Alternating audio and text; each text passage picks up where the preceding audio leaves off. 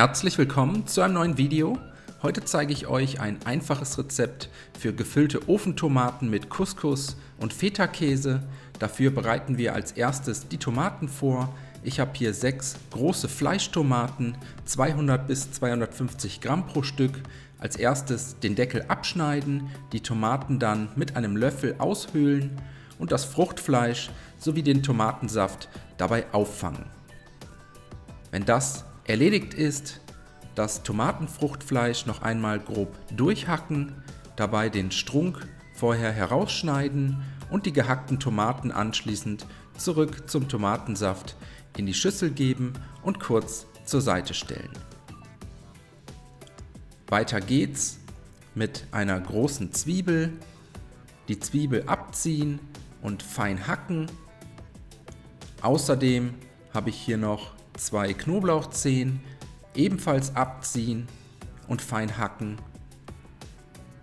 Und danach eine große Pfanne mit einem guten Schuss Öl erhitzen.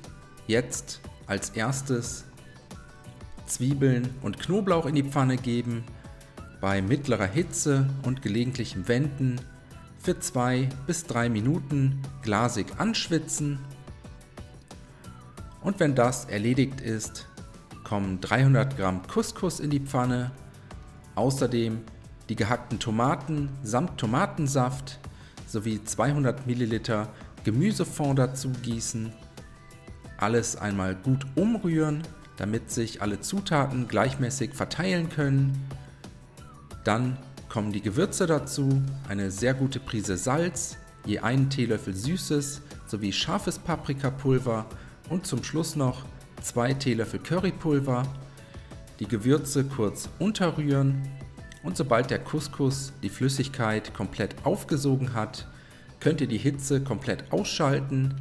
Danach kommen noch die restlichen Zutaten dazu, ein bis zwei Hände voll Rosinen, eine gute Handvoll geröstete Cashewkerne, grob gehackt.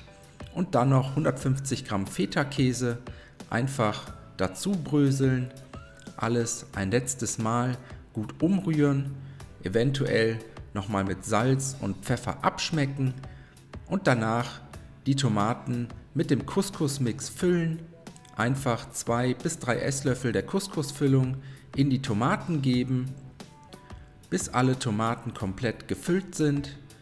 Den restlichen bzw. übrig gebliebenen Couscous in eine große Auflaufform geben, gleichmäßig darin verteilen weitere 200 ml Gemüsefond dazu gießen, anschließend die gefüllten Tomaten nebeneinander in die Auflaufform setzen, den Tomatendeckel oben drauf geben und so geht die Auflaufform dann in den vorgeheizten Backofen bei 180 Grad Umluft bzw. 200 Grad Ober- und Unterhitze für etwa 20 bis 25 Minuten.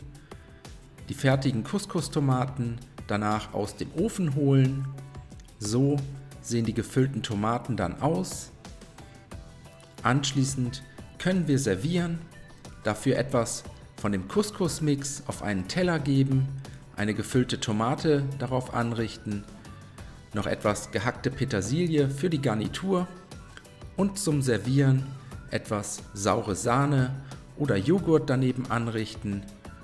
Danach wünsche ich euch einen guten Appetit ich hoffe, euch hat das Video gefallen.